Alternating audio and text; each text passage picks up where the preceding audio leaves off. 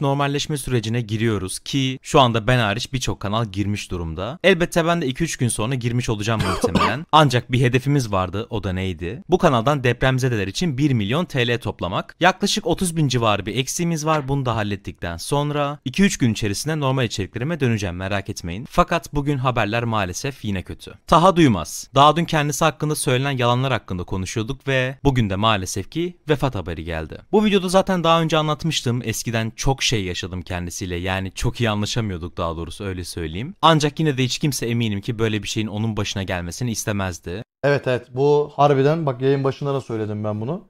Yani ya, beni sevmiyor olmuş olabilirsin ya da atıyorum başka bir insan da ama o insanın hani illa ölmesini isteyecek şey insanlar değiliz. Sosyal medyadaki insanlar da olsun. Var 2-3 tane kansız da yani. Ama sosyal medyada Twitter'da dediğim gibi çok garip bir linç var. Bu çocuğa böyle yaptınız, şöyle yaptınız, böyle yaptınız vesaire filan diye. Oğlum buradaki sorgulanması gereken insanlar sosyal medyadaki insanlar değil ya. Vallahi Ben de. keşke bu tepkileri 2-3 e, beğeni almak yerine gidip mü- müteahhitlere vesaire falan verseydiniz bu tepkileri daha iyi olurdu bence. Herkes artık bir çıkar peşinde ya. Vallahi çok kötü abi. Yani çok bambaşka bir yere gidiyor.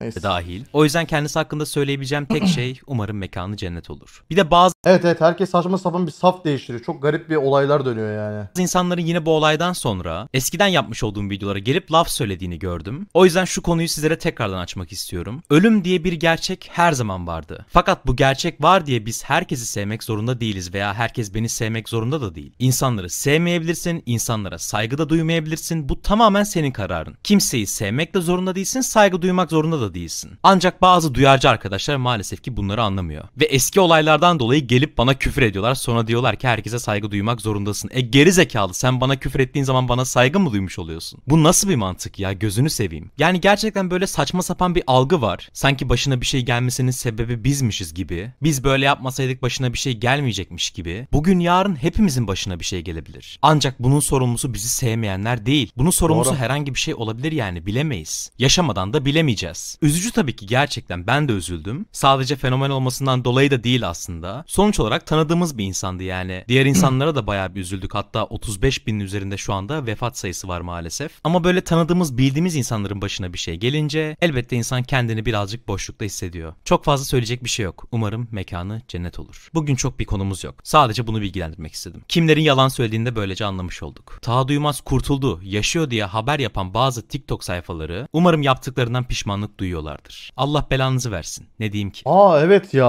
Oğlum öyle insanlar da var gerçekten ya. Çok garipti abi. Bu süreç gerçekten çok garipti ya.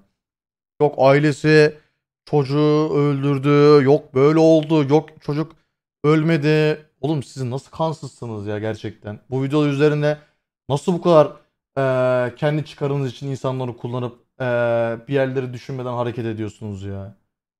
Vallahi inanılmaz. Ya inşallah şu platform gerçekten yarın bir gün artık ya da her platform düzelir ya abi. Gerçekten hani birazcık insanlık öğrenmemiz lazım bence. Nimpi açıklama ne ya?